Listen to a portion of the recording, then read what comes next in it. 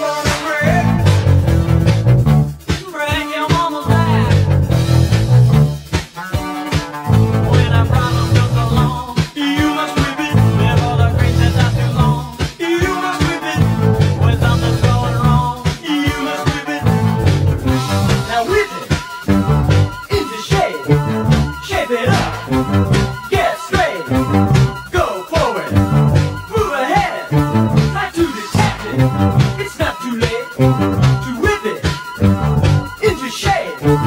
Shape it up, get straight, go forward, move ahead. Try to detach it, it's not too late.